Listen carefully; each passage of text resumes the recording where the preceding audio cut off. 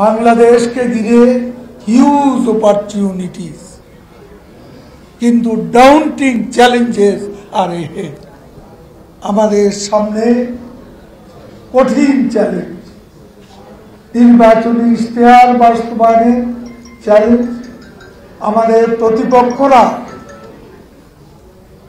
দৃশ্যপটে যতই দুর্বল হোক, তলে তলে কিন্তু তারা ষড়যন্ত্র করছে।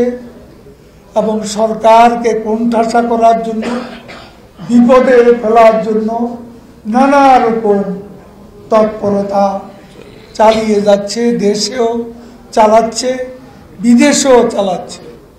আজকে দেখুন, সামাজিক যোগাযোগ মাধ্যমে হঠাৎ করে এক এক গুজব, গুজবের ডালপালা আজকে বিস্তার করেছে। পদ্মা সেতু হচ্ছে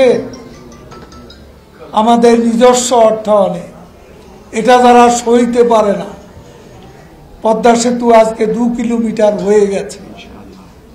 আজকে পদ্মা সেতু সেভেন্টি ওয়ান পার্সেন্ট সার্বিক অগ্রগতি।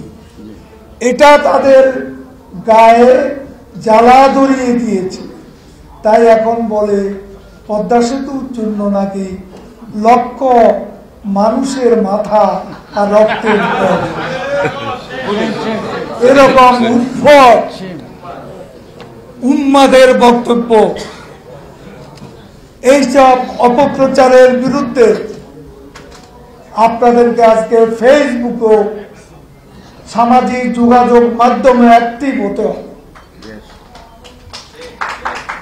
সর্বমুখী যুদ্ধে আমরা লিপ্ত হতে হবে।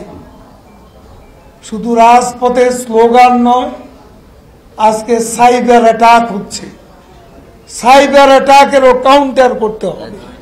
আওয়ামী লীগকে সময়ের উপযোগী সমাজের চাহিদা অনুযায়ী মানুষের প্রয়োজনে যেমন আজকে নেতৃত্ব দিতে হবে